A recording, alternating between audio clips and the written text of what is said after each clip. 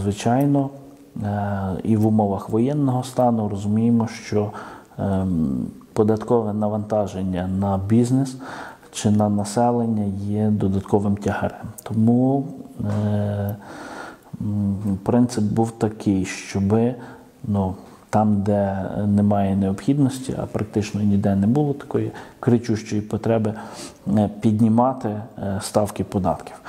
Е, Практично всюди ми залишили на тому рівні, де, де були до цього, а по деяких податках і зменшили. Е, Ми розуміємо, що це можуть бути якісь ну, там, недопоступлення до бюджету, але ну, за великим рахунком це копійчані суми, е, і вони, ну, вони якоїсь ролі величезної не відіграють. А для людей, особливо для незахищених верств населення, це може бути відчутно. Найбільші, е, скажімо так, дебати і найбільше обговорення викликали два види податків. Це є податок на нерухомість, а також податок на землю.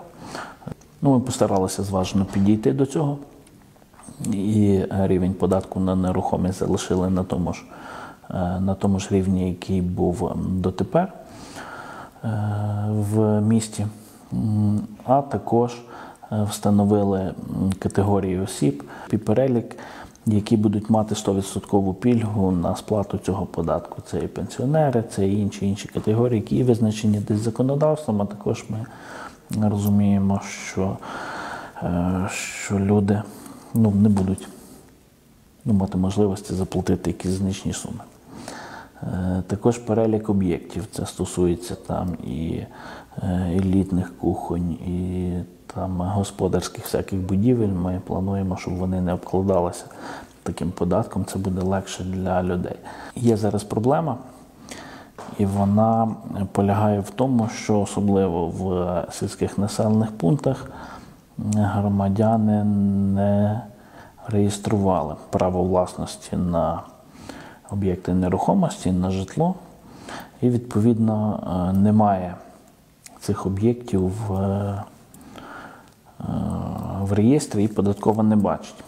Е, І е, виникає така парадоксальна ситуація, що ті громадяни, які є добросовісні, е, зробили відповідні документи, зареєстрували право власності, і з них справляється цей податок. А ті, які не зареєстрували, е, вони е, не платять. І таких є дуже багато. Виникає, скажімо так, нерівність або якась така, ну скажімо так, е, перекоса. Е, Звичайно, люди, які там будуть продавати чи там е, отримувати в спадщину житло, все рівно треба буде реєструвати. І держава тут встановлює такі правила, що з кожним днем і там з кожним місяцем це стає набагато дорожче. І е, я закликаю громадян чим пошвидше оформляти документи і реєструвати, е, тому що зараз це буде дешевше, а надалі це буде дорожче.